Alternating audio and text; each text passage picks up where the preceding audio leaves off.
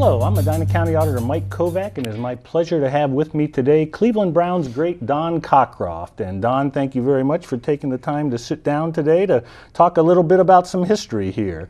Uh, Mike, it's my pleasure uh, to talk about the 1980 Kardiac Kids. is is, is is is cool. It's good. Absolutely. And uh, you've got a book coming out here. Let's see. The 1980 Kardiac Kids Our Untold Stories, A Season of Destiny, A Moment of Despair, A Lifetime of Memories. And we're going to talk about that in a little bit, but we also want to talk about uh, the season uh, and some of the players that participated there. Leading up to the 1980 season, I guess Sam Rutigliano came in 1978, I believe. Right. It's his 1st mm-hmm. year at the Browns. Mm-hmm. Uh, definitely an offensive minded guy, I believe it's safe to say.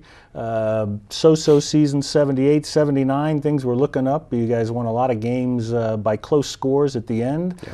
And the 1980 season came around, and there were a lot of expectations in Cleveland, as I understand it. Uh, truly, truly was. Uh, uh, again, as Sam came in, if I can backtrack just a little bit, uh, one of the neat things about Sam Rutigliano was uh, he is a great communicator.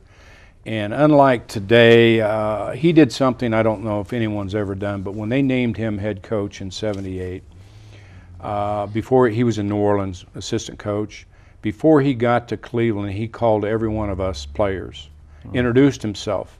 Right. And I remember, and some other players remembered as I talked to them and interviewed them for the book, said that, uh, you know, he had to prove himself as a head coach for the Cleveland Browns, and we were each one going to have to prove that we still deserved to be a Cleveland Brown. Hmm. But everybody was going to get a great, you know, a fair shot at doing that. And just the stories themselves of how he came in and changed the whole complexion mm-hmm. mentally of what we were doing. Uh, and he didn't get rid of a lot of ball players. We had a pretty good basis. Right. And of course, uh, 78, 79 is when the kardiac kids really started to happen and then of course 1980 is uh, when it when it culminated you know. Absolutely. But that uh, the year didn't start out that well as i recall 1980 a lot of hype uh, the browns coming off a 9-7 season uh, brian sipe coming into his own as quarterback. Right.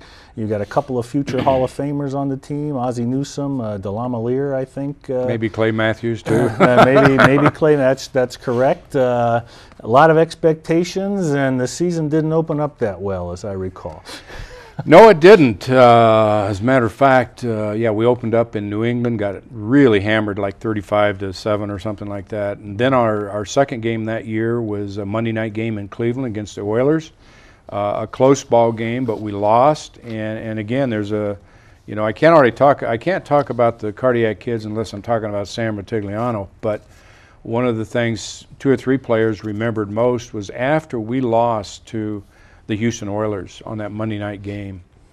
And uh, we are dejected because, uh, Mike, you said it. I mean, everybody's expecting the greatest from the Browns. Absolutely. And we're 0 2.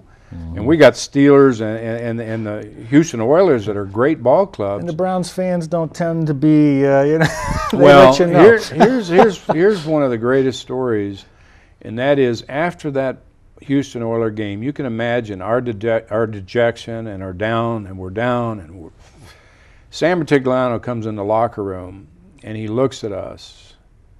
And, and I remember he pauses and he says, Fellas, could you live with 14 and 2 when the season's over?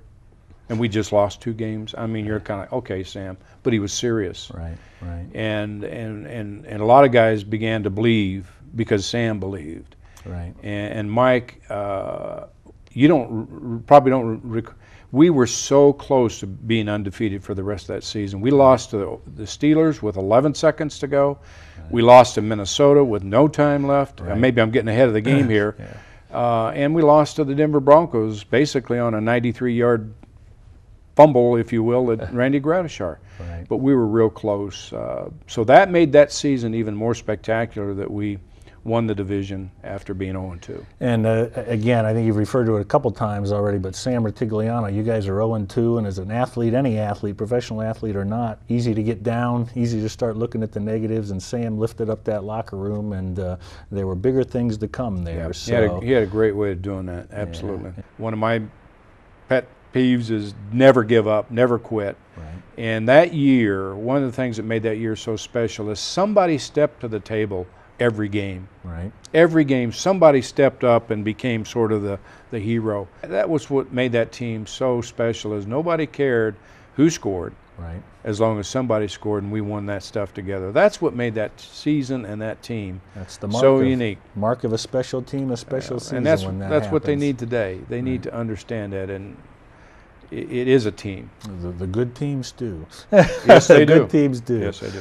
You've got a new book coming out uh, here, hopefully in the spring, and uh, lots of little goodies that go with with book uh, ordering here. And I Well, believe yeah. that that song, that uh, that uh, DVD we we're just looking at, is part of that that comes along. Right. I uh, when I when I interviewed people or talked to people about it, half of the fans remembered that song as much as anything. Right. And so yeah, I basically uh, I'm going to show it here. I'm going to uh, anybody that uh, uh, orders the book in advance of its release, which will be early this spring, uh, is going to get this DVD free. Mm-hmm. And uh, a couple other things. I kind of put a package together. There's the old kicker. That's right. Don autographed. Cockroft. That appears to be autographed. It is autographed, and this is a special photo because it was the Cincinnati Oh, that's game. the Cincinnati. Okay. Uh, I've so seen that's that kinda cool. a lot. Yes. Now I and then uh, we have the team photo of the 1980 Kardiac Kids that people get.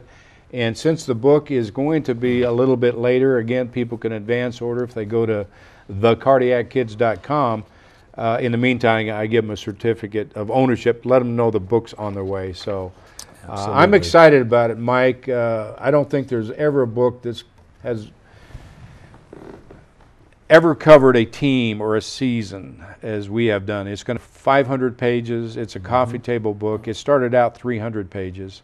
Right. Going to be over 500 with about 450 photos. Um and I know you got some things about it. and some uh, great uh, great stories in there. I've looked at some of the, the previews, and again, some of the players that we talked about don't even touch on. Maybe some of the you know you got Jerry Sherk in there, Dick Ambrose, uh, Ozzie Newsome, Joe DeLamielleure, a couple of, uh, of uh, Hall of Famers on there. Brian Sipe.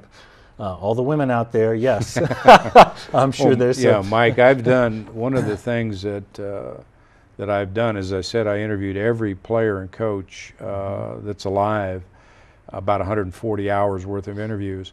But we've done a then and now story on every player, coach, uh, basically how they got to uh, professional football, their younger years in life, uh, their careers in the NFL, and what people are really going to enjoy is where they're at today, what they're doing today. That's one of the highlights of the book. Right, absolutely. Um, uh, again, that's uh, the website you can go to. Some of the pictures are up there. Some of the, the some of the stories are there. Right. Uh, we have a lot of summary, the uh, quotes. yes. summary of the book, uh, kind of an overview of the book, and of course, uh, I'm I'm selling three different editions of the book: the standard edition, uh, the deluxe edition, and the premiere. And I, I want to encourage any real avid Browns fan that has a few bucks because it's not cheap, but Right. the premiere book is going to have 32 autographs from official autographs of the players, starting including Sipe and Matthews and Newsome and Right. the Matthews, uh, and again the print that goes with that. I want to encourage people to look at that because it is a collector's item. Sure, Uh, absolutely. but uh, yeah, the website pretty much gives you an overview of the book and what we're offering. And as I said before, we're going to give away some bonus gifts to people who advo- order the book prior to its release. and this has been a, a real labor of love for you. Uh, put a lot of time being put into this book, right, to make sure it comes out the way you'd like it. Uh, a lot of research. Uh, Oh yeah, a lot of research. Uh, my co-writer Bob Moon has uh, written. A, well, he's written a book and he's put together about five or six books. He's a great Browns historian. So between him and uh, the football knowledge that he has, we're covering about uh, a very comprehensive look at that team and that season. But it's been yeah three years. Uh, for those fans that may say, "Yeah, Don, I ordered the book a year ago," uh, they all understand that I, I didn't know I was going to be 500 pages. I thought it was going to be 300. right. And so hopefully, bear with me. It is coming out, and I don't think you'll be disappointed. Don Cockroft, uh, Cleveland Browns great. On a rare occasion, there emerges a group of players and coaches who put self serving interest aside and buries selfish pride, enabling a team to perform feats which otherwise it would not be able to accomplish. That summarizes the 1980 Kardiac Kids, Their Untold Stories, the book coming out by Don Cockroft here this spring. Uh, you can look that up at www.thekardiackids.com with a K, of course. Uh, Don, I certainly appreciate you taking the time to come out and chat with us today, and I appreciate all of you who've tuned in uh, for watching us. I'm Medina County Auditor Mike Kovack. Thank you very much.